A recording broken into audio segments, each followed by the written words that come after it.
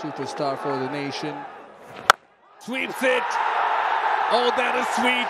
Wings deployed into the stands. Down the wicket, goes straight on this occasion. It is in the air. There is a fielder coming. And it beats the fielder. And goes for the second.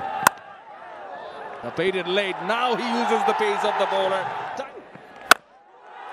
Again he goes. He goes big. Reached Nafsu Mehmet.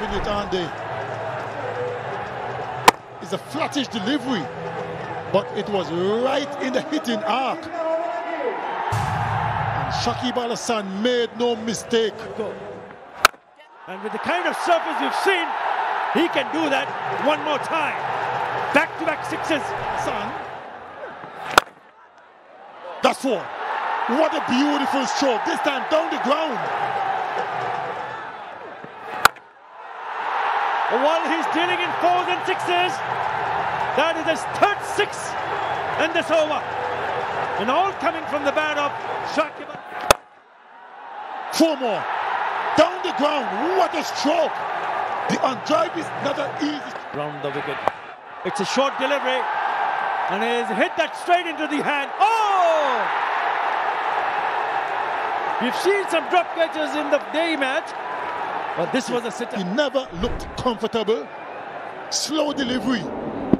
Hit a top edge. That should have been taken. Look at him. Why is he crouching down? He's a tall man. A little quicker. Yeah.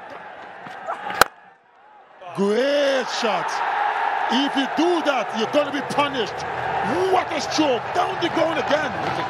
Four fours and five sixes in that knock of 52. And that was a beautiful stroke. Straight down the ground. Shot. Shots have catch it. Nobody's catching that.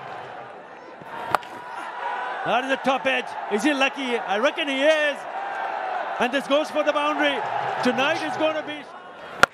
Shakib Al Hasan is going to keep on hitting the boundaries with the utmost ease. Taken.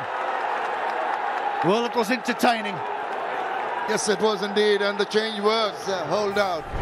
As this is his third wicket.